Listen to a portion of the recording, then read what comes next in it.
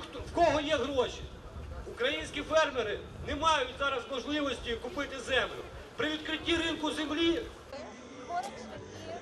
Люди перекрили дорогу, ходять пішохідним переходом. Швидкі та пожежні автівки протестувальники пропускають.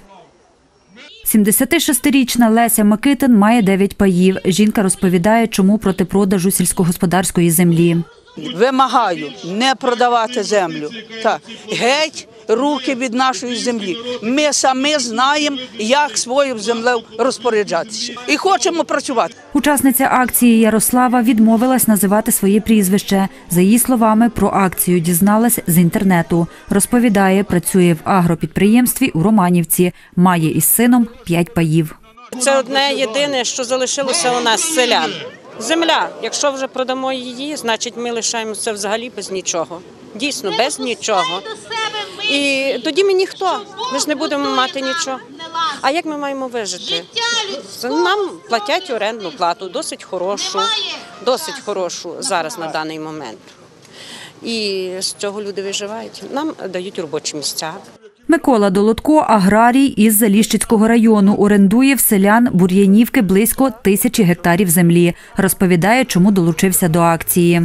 Не тільки я вважаю всі трудівники мого села, мого підприємства про те, що запускати або ринок землі на сьогоднішній день, так називаємо обіг землі, ще зарано. Чому? Перше, права ми отримаємо, а от грошей для того, щоб закупити цю землю, ми ніколи не зможемо на сьогоднішній день її мати. Якщо Верховна Рада прийме закон про обіг або ринок земель, сьогодні ні один житель наших сіл не зможе купити не 200 тисяч гектарів, ми не зможемо купити десяток, сотню або тисячу гектарів. Тому сьогодні ясно ми протестуємо проти цього. Такі ж акції сьогодні провели в 13 областях України, повідомила співорганізаторка акції Марія Горбаль. Жінка розповідає про вимоги протестувальників. відкликати подані законопроекти про обіг земель сільськогосподарського призначення. Допоки на сході точиться війна, допоки не закінчена децентралізація, доки немає чітких меж ОТГ. Якщо продаж землі, то тільки купець держава. Ділянку дороги, де була акція, можна було об'їхати через село Колидняне Чортківського району. Там від ранку стояв попереджувальний знак, розповів заступник начальника Чортківської поліції Микола Гикавий. За словами водія автобуса Чортків Тернопіль Володимира Козака, у заторі через акцію стоїть більше години. Заважає, бо треба вертатися вже назад швидко на Тернопіль. Не пропускають. Пасажир Віктор Мозель каже, що запізнився на роботу. Незадоволений тим, що якщо є акція, треба йти до тих людей, які винні. Я сам проти продажу землі, але якщо б мені хтось зробив зло, я протестую проти нього, а не проти свого сусіда, який мені зла не робив. Оце так само вони роблять. Володимир Герун їде до Гримайлова. За його словами, акція не заважає. Я підтримую ту акцію, я згідно.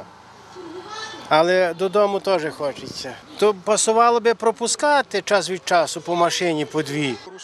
За словами заступника начальника Чортківської поліції Миколи Гикавого, аварій та порушень правил дорожнього руху під час акції не було. Кому срочно обов'язково проїхати, вони об'їжджали по об'їзній дорозі Де цей блокпост? в селі Оришківці Гусятинського району. Також акція проти продажу землі відбулася у Романовому селі Збаразького району на трасі М12. У ній взяли участь 300 фермерів та пайовиків. Про це розповів її координатор Володимир Мужевич. За його словами, перекривали дорогу з 9.30 до 10.30. Автомобілі швидкої допомоги пропускали. Володимир Мужевич каже, до акції в Збаразькому районі приєдналися аграрії з Тернопільського, Гусятинського, Лановецького, Підволочиського та Требовлянського районів. Марія Котенко, Андрій Бодак. Новини на Суспільному. Тернопільщина.